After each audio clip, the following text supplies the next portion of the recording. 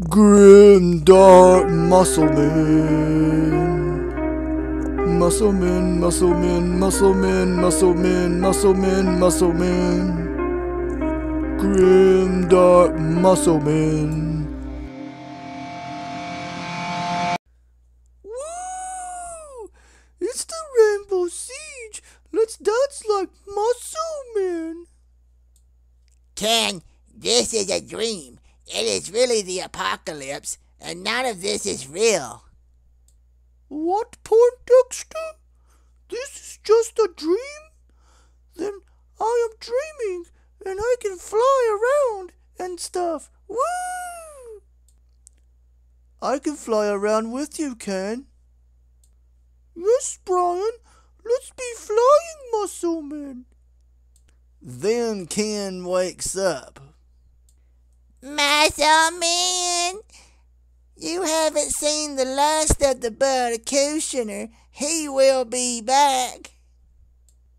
And Poopa, you ruined my lucid dream.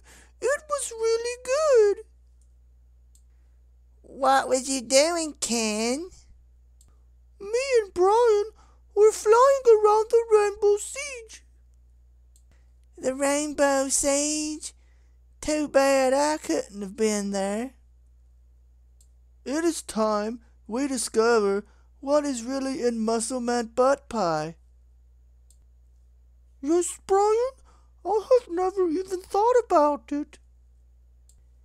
The Buttercutioner makes his with the butts of his victims. He grinds them up in a metal machine first, and that was the best Muscle Man butt pie I ever tried. Oh my, Poopa, I never would have guessed. But the classic Muscle Man butt pie that they sold at the siege, there's no way it was made of human flesh back then. Let's go find somebody that can tell us what it was really made of.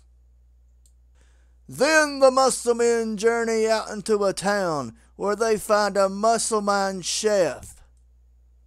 Muscle guys, I remember you. I used to cook at the siege. Oh, Chef Muscle Man, can you tell us what the ingredients were for classic Muscle Man butt pie? Yes, Brian.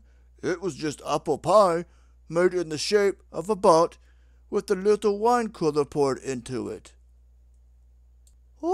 Oh, ma, we never would have guessed. Then the muscle men journeyed back to the cabin. Who would have thought all muscle man butt pie was was a variant of apple pie? Yes, I never noticed that either.